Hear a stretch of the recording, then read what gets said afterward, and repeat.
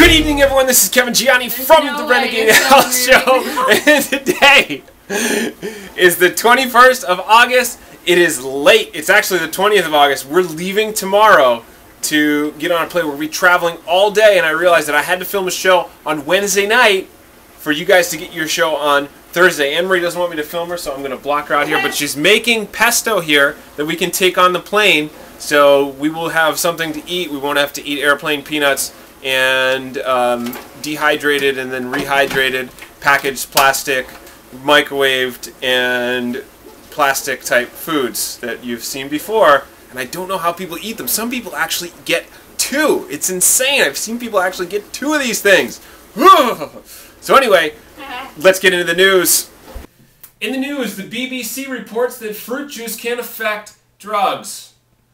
That's right, fruit juice has just been demonized by the global media.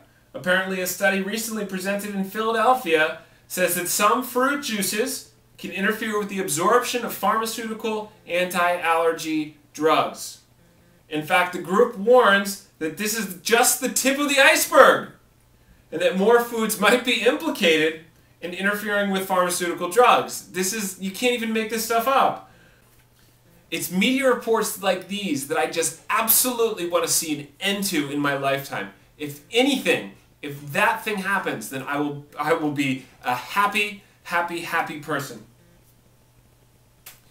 Okay, so here we are. I apologize that it's dark in here. All our lights are actually packed up and ready to go. So you're with me for the evening right now. And we have a couple questions. I want to get through them quickly because I actually want to sleep sometime tonight. Question number one is from Anthony. He says, I love your site. Thank you, Anthony. And he says, to get most out of my plan this summer, I'm sorry it's a little bit late, but hey man, we gotta get we gotta get to everyone's question. Um, do you have any quick tips for gaining muscle size, exercises, and foods? Gaining muscle sizes, I would really recommend that you're gonna you're gonna add some strength training with weights. So anything, dumbbells, barbells. Be real careful about uh, bench press and squats with a lot of weight. Um, I've seen way too many people hurt their backs, and I've seen way too many people injure their shoulders. My shoulder actually is still a little bit damaged from some of the heavy, heavy, heavy, heavy weightlifting that I used to do back before college and, and in college. And even when I do some push-ups now, if I do if I do a, a, lot of push-ups, so I say I do 200 push-ups in a day or something like that, man, my shoulder, it really feels it. So be very careful with your weights, but do add weights. Kettlebells are a great tool that you can use as well. And we're eventually going to do a show on kettlebells as well to introduce those people who don't know what they are to the type of training that you can you can use using th these things. They're very versatile and they're awesome. And this is a picture of one right now. Okay, so I hope that helps with the exercises. For foods, this is what you're going to do. Maca, which I think you're already taking, hemp, blue green algae, and then Sunwarrior rice protein. This is a really cool product. I've had a chance to sample it. I really like it. Um, I like the original. I don't like the flavored ones because they have stevia in it and I can't take that stuff. But anyway, uh, Sunwarrior protein is awesome. And what I would do is those four proteins, I would find your ideal mix. So I would experiment with all of them. I find that I work really well with Sunwarrior Protein and Maca, and sometimes the hemp doesn't really sit that well with me. And I've been experimenting a little more with the blue-green algae, but the rice protein and the maca really work well for me. So I would experiment with all of those and try to find which one works for you and which helps you build the most size, the most muscle. And remember, it's not necessarily the size of the muscle, it's the strength. So you don't need to get that big, you don't need to really overdo it like Ronnie Coleman or some of these these you know Jay Cutler, some of these bodybuilders. I mean, they're just uh, they're they're inhuman, and plus they use a lot of steroids. Remember that.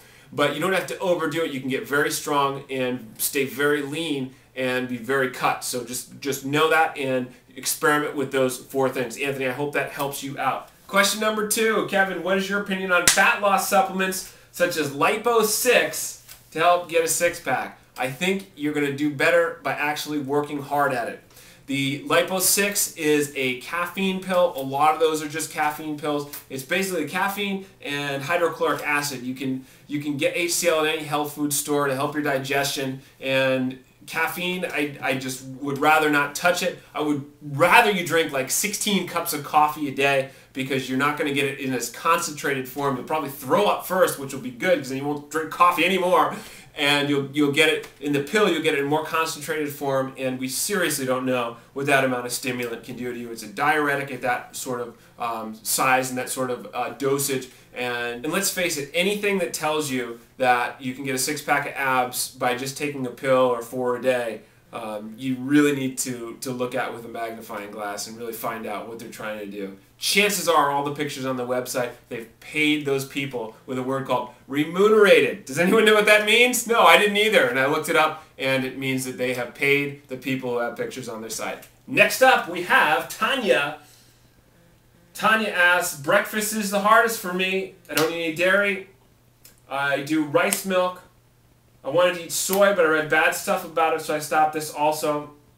I don't eat enough protein for breakfast, so please help me. She does a lot of sports. Okay, here's the deal. Again, I would give you the same advice that I gave Anthony. Maca, blue-green algae, hemp, and the Sunwarrior protein. I'll provide a link down below for that. And this is one of the cool breakfast things that I've been eating recently. I met Ruth uh, of Hemp's Foods at uh, the, the Expo West and this product here is, uh, you'd think that I'd make money on selling this. I don't. Um, it's Chia Goodness, and this is chia seeds. And it's chia seeds and some buckwheat and some pretty awesome stuff. This original version is all raw. I'll put a link down below for that too. And you basically you just put some water, you let it sit for maybe five minutes or so so the chia seeds soak up. And this is a very filling, very nutritious breakfast. Got some great omega-3s in the chia seeds and some other good uh, sprouted grains and stuff like that. With this, you can also add some agave or you can add some coconut water or anything else you want. So, Chia Goodness, you can get it on Ruth's site, ruthshempfoods.com.